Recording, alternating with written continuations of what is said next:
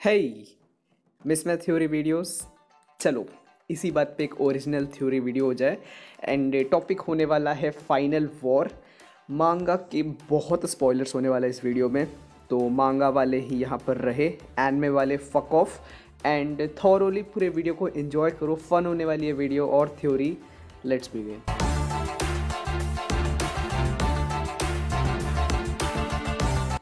first of all मैं ये बता देता है कि मेरे हिसाब से फाइनल वॉर किसके किसके बीच होने वाला है? फाइनल वॉर होगा रिवोल्यूशनरी आर्मी और वर्ल्ड गवर्नमेंट के बीच और फिर मुझे जहाँ तक लगता है कि योंकोस और बाकी पायरेट्स भी उस वॉर में इन्वॉल्व हो जाएँगे। मुझे ऐसा इसलिए लगता है क्योंकि तुम्हें याद होगा ड्रैगन ने साबो को बोला था कि अब टाइम आ गया है वॉर करने का एंड क्योंकि रिवोल्यूशनरी आर्मी को अब पता है ईमू सामा के एग्जिस्टेंस के बारे में। उनका ये वॉर सिर्फ़ सेलेस्टल ड्रैगन से नहीं, बल्कि current king of the world से होगा। एंड वो ये वॉर करेंगे current king of the world को उसके पोजीशन से हटाने के लिए, जिससे ऑब्वियसली वर्ल्ड गवर्नमेंट का पूरा सिस्टम गिर जाएगा। एंड अगर वर्ल्ड गवर्नमेंट ही नहीं बचेगी तो सिलेस्टल ड्रैगन से कोई डरेगा ही क्यों? लेकिन जब ड्रैगन ने साबो को वॉर के बारे में बोला था ना, तब भी और अब भी मुझे नहीं लगता कि रिवोल्यूशनरी आर्मी ये वॉर जीत सकती है।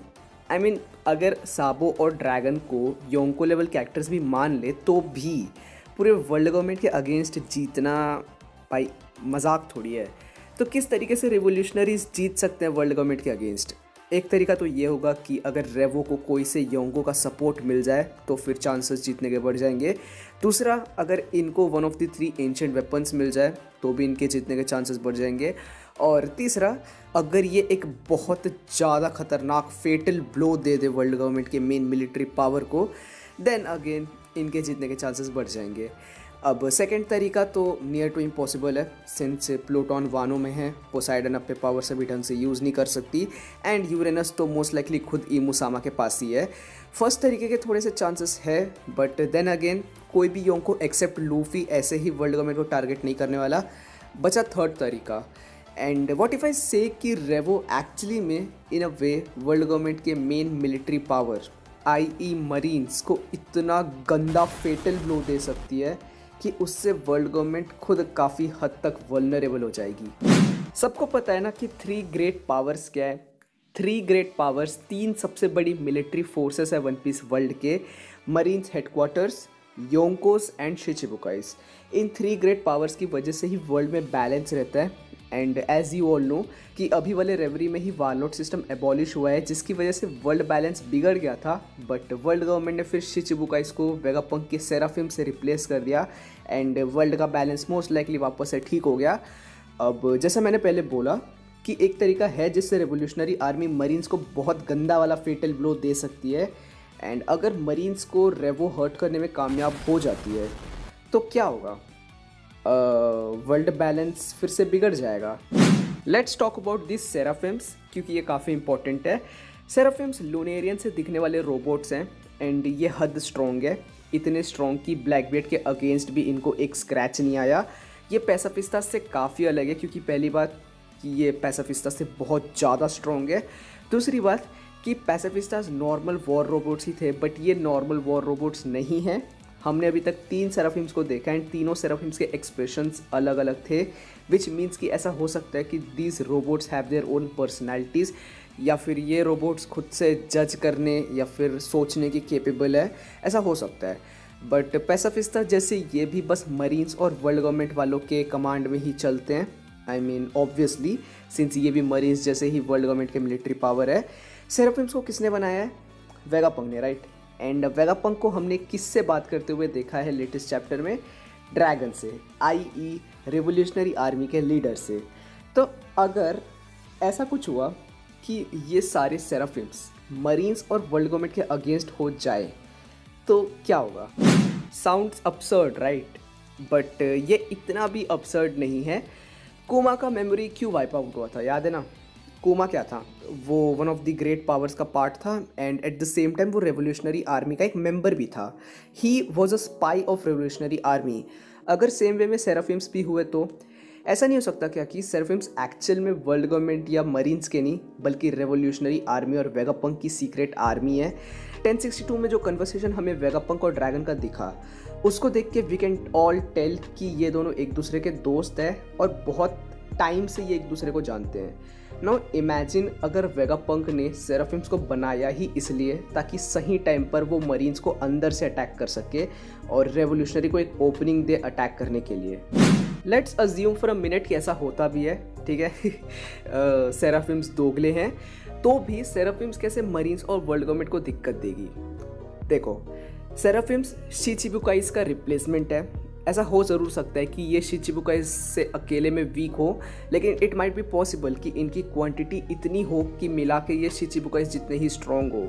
And Shichibukais were not at all weak Mihawk Doffy Blackbeard Law Crocodile जैसे लोग थे शिचिबुकाइज उस लेवल के कैरेक्टर्स अगर मरीन्स के अगेंस्ट चले गए तो भाई सब थिंक अबाउट इट मरीन्स अगर जीत भी गई उनके अगेंस्ट तो भी बहुत भारी नुकसान होगा उनको। लेकिन लव, तूने जो अंदर से अटैक वाला बात बोला ये ये सेराफिम्स अंदर से अटैक कर कैसे सकते हैं? वेल well, जैसे मैंने पहले बोला कि सेराफिम्स मरीन्स और वर्ल्ड गवर्नमेंट के ही कमांड में चलते हैं। तो इट्स ऑब्वियस कि ये मरीन्स हेडक्वार्टर्स और मरीजवा में ही पड़े होंगे ताकि जब इनकी ज़रूरत पड़े मरीन्स और सीपी या फिर वर्ल्ड गवर्नमेंट वाले इनका यूज़ कर पाए। तो अगर मरीन्स हेडक्वार्टर्स के अंदर ही अचानक से सारे सेराफिम्स ब्लास्ट ब्लूस्ट करने लग गए तो इमेजिन मीहॉक वाला सेराफिम लगातार मरीज़ हेडक्वार्टर्स में अपने स्वॉर्ड के साथ मारे जा रहा है, मुरले काटे जा रहा है। मरीज़ हेडक्वार्टर्स में एडमिरल्स और टॉप टीयर्स रहते हैं आई अग्री बट क्या वो सारे सेराफिम्स को अकेले रोक पाएँगे डिस्ट्रक्शन करने से? सेराफिम्स वैसे भी वन शॉट हो जाए एडमिरल से, इतने वीक तो है नहीं। एंड अगर सेराफिम्स में सेल्फ डिस्ट्रक्शन जैसा कुछ हुआ, वो भी खतरनाक वाला, जो कि मुझे लगता है कि होगा तो सोचो मरीन्स हेडक्वार्टर्स का क्या होगा? एडमिरल्स और टॉप टीयर्स तो बच जाएँगे but what about others will that not be enough to shake world government from its core लेकिन लव अगर वेगापंक को तबाही मचानी ही थी तो फिर वो पैसाफिस्टस का यूज़ करके क्यों नहीं मचाया? वेल well, जैसा मैंने पहले बोला कि पैसाफिस्टस और सेराफिम्स बहुत डिफरेंट है। सेराफिम्स स्ट्रॉन्ग तो है ही but at the same time वो डिफरेंट एक्सप्रेशंस कैरी करते हैं। जिसका मतलब जैसा मैंने पहले भी बोला, वो जज करने के केपेबल है शायद विच इज़ वाई ऐसा भी हो सकता है कि वेगा पंग ने खुद सेराफिम्स को बोला है कि अभी मरीन्स की बात सुनो, और जब टाइम आए तब उन्हीं मरीन्स को चटका देना। And may be seraphims at present are following Vegapunk's and dragons order and pacifista चाहे कितने भी स्ट्रॉन्ग वॉर रोबोट्स थे seraphims literally one of the three great powers है। विच मीन्स कि उनके रोग होने से नॉट ओनली मरीन्स इफ़ेक्ट होगी बट पूरा वर्ल्ड बैलेंस फक्ड अप होगा। And at the same time अगर रेवोल्यूशनरी आर्मी भी वर्ल्ड गवर्नमेंट पर अटैक कर दी तो बिना किसी योंको के सपोर्ट के बिना किसी एंशंट वेपन के रिवोल्यूशनरी आर्मी के वॉर जीतने के चांसेस बहुत ज़्यादा बढ़ जाएँगे। वेगापंग ने वैसे 1062 में ही ये भी बोला कि वो शायद से बहुत जल्दी मरने वाला है। इस चीज़ का रीज़न क्या हो सकता है? वेल well, इस चीज़ का रीज़न हो सकता है द कुमा सेराफिम हमने सी पी ज़ीरो को कुमा सेराफिम के साथ एग हेड की तरफ़ आते हुए देखा है एंड आई थिंक ये चीज़ वेगापंक को पता है एंड शायद से ये चीज़ वेगापंक के प्लान का पार्ट है, ऐसा प्लान जिसके बारे में ड्रैगन को भी नहीं पता एंड ये प्लान और ज़्यादा एपिसोड साउंड करता है बट ये प्लान काफ़ी ज़्यादा इंपॉर्टेंट है वर्ल्ड गवर्नमेंट को हराने के लिए एंड ये प्लान ये है कि शायद वेगापंक कुमा सेराफिम को सेल्फ डिस्ट्रक्ट करके पूरे एग हेड आइलैंड को उड़ाना चाहता है ताकि वर्ल्ड गवर्नमेंट को कोई तरीका मिले ही ना सेराफिम्स को रोकने का एंड फिर उनको वेगापंक के ड्रैगन के साथ कनेक्शंस के बारे में भी पता नहीं चलेगा। वेगापंक ने कुछ चैप्टर्स पहले ही स्ट्रॉ हैट्स पे भी इंटरेस्ट दिखाया था। वो शायद से इसलिए क्योंकि वो चाहता है कि स्ट्रॉ हैट्स जो कि एक योंको क्रू है, वो सी पी ज़ीरो को रोके ताकि उसके प्लान में सी पी ज़ीरो उंगली ना करे। एंड शायद एक योंको क्रू की हेल्प भी चाहता है वेगापंक एंड क्योंकि लूफी उसी के दोस्त ड्रैगन का सुपुत्र है। ही माइट बी एक्सपेक्टिंग कि लूफी भी वर्ल्ड गवर्नमेंट पर अटैक करेगा अपने बाप के साथ एंड रिवोल्यूशनरी आर्मी के साथ.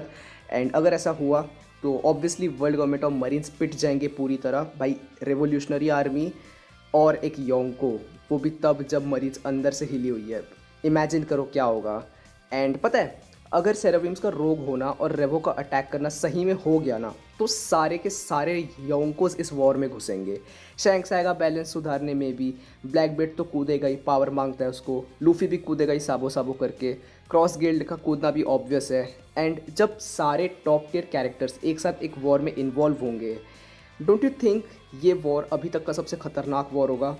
वेल well, अगर ये थ्योरी सच में सच होता है बट अगर ये थ्योरी सच होता है, तब मैं ज़रूर देखना चाहूँगा कि इसमें से कितना प्लान रेवो का काम करेगा। And that's it this concludes my theory comments में बताओ थ्योरी कैसी लगी। Like this video if you like this video subscribe my YouTube channel for more crazy and absurd theories and मैं हर चैप्टर पे एक too much honest opinion video भी बनाता है। तो उसे देखने के लिए भी you can subscribe bell icon भी दबा देना ताकि तुम मुझे तुरंत व्यूज़ दे सको. प्लॉट होल्स एंड इस थ्योरी से रिलेटेड कुछ भी क्वेश्चन पूछना है तो feel free to comment I promise I reply every one of them and अब नेक्स्ट वीडियो में ये आवाज़ सुनने मिलेगी तो बाय बाय